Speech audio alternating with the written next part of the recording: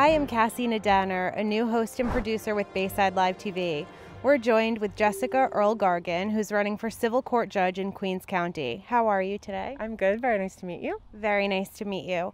So, the election is obviously approaching us sooner than we expected, and with everything going on in the world, uh, it must be a difficult time to be running for anything, I would say.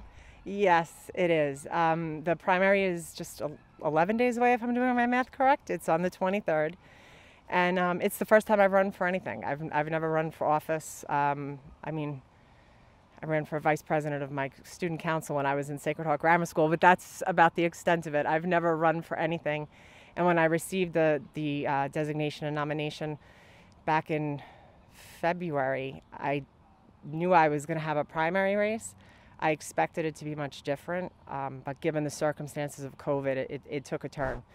So, a process that was going to be completely new for me running for office became extremely new because people who have done it before were uncertain of how to do it in these new times. Um, I planned on, you know, hitting the streets and knocking on doors and, and getting all over Queens County to meet people. That was my intention. I, I, I truly meant to do that because I would never ask someone to vote for me that didn't know me or have an opportunity to know me. But unfortunately, uh, the virus has made that uh, pretty, I wouldn't say impossible, but very, very difficult. Um, so I've started a Facebook page, I have a website, I've been participating in Zoom meetings with various um, political clubs, organizations throughout Queens County. Um, trying to run. Unfortunately, my resources haven't allowed me to do things such as TV ads or big flyers or posters all over. Um, so I'm, I'm, really relying on the kindness of my friends and family for word of mouth. Um, and you know, again, I've, I've never done this before. It's it's not what I expected. I don't plan on ever running for anything again. Um, I'm not a politician. I don't. I that's not my forte. I want to be a judge. And in the past, I've said this before. In the past, primaries weren't really a thing for judgeships for a very long time they are now. And I'm not necessarily saying that's a bad thing. People should have a choice. But I think it's important that people research their choices and know who they're voting for. Well, personally, I will say that I'm proud to be standing next to a fellow woman who is running. Um, that really is remarkable and it shows that we've come a long way for sure. Um, but also, generationally speaking, um, I personally have never had to deal with the court system, whether that be a good thing or not. I, am fortunate, I guess, to not have to be in the court system.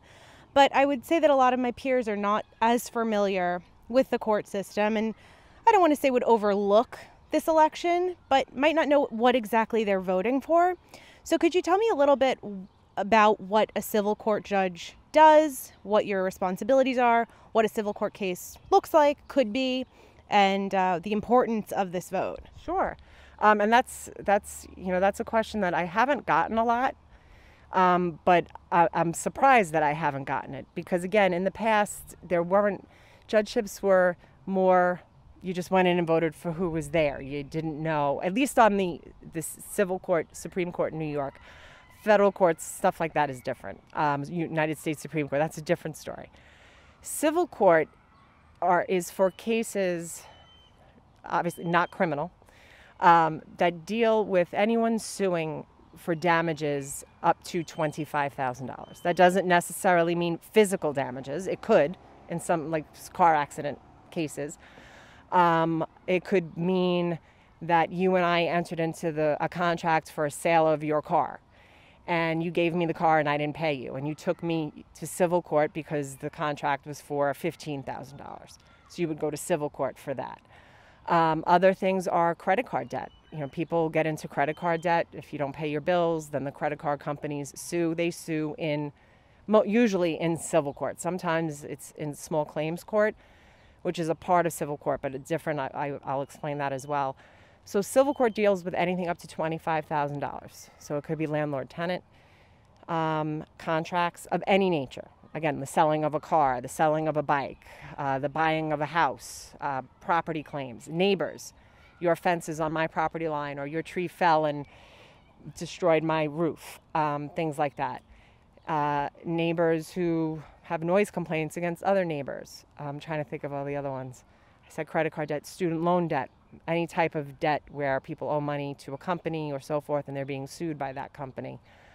Um, civil court also handles, and this isn't so much for the everyday citizen. Um, insurance companies do most of it. It's called no fault law. It's when you get in a car accident and you hurt your back and the doctors don't get paid.